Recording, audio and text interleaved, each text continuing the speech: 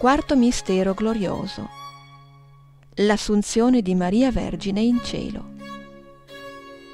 La dormizione. Il dono della cintura. La festa mariana più importante dell'Oriente cristiano fin dal VI secolo è la dormizione ed assunzione della Madre di Dio. Ti sei addormentata, sì, ma per non morire. Sei assunta, ma non smetti di proteggere il genere umano. Teodoro Studita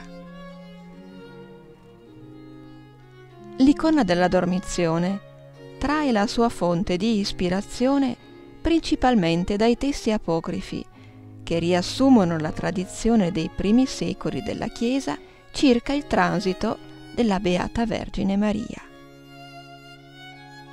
si distinguono nell'evento glorioso quattro episodi. Primo, annunciazione del transito.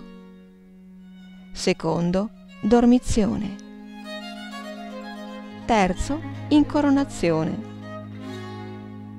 Quarto, il dono della cintola. Narra lo pseudo Giuseppe d'Arimatea nel transito della Beata Maria Vergine che San Tommaso fu trasportato miracolosamente, dopo gli altri apostoli, sul Monte degli Ulivi, dove ricevette da Maria Assunta la cintura, con la quale avevano legato il suo corpo nella sepoltura.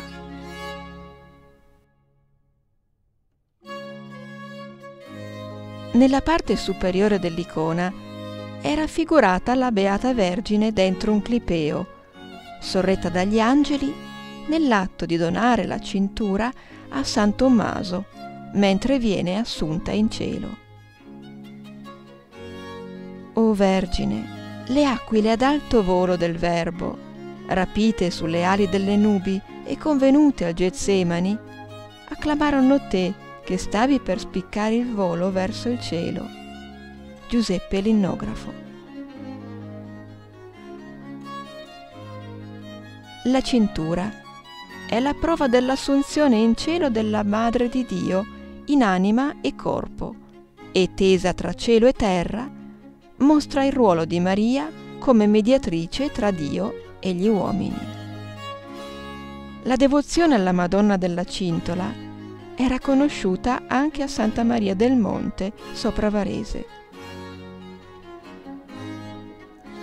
O Madre di Dio, la terra e i celesti si rallegrano per il tuo trasferimento, avendo ottenuto per tuo mezzo di essere paradossalmente uniti. O Madre di Dio, degna di ogni lode, gli angeli del cielo si sono rallegrati mentre accoglievano te, portata dalla terra. Giuseppe Linnografo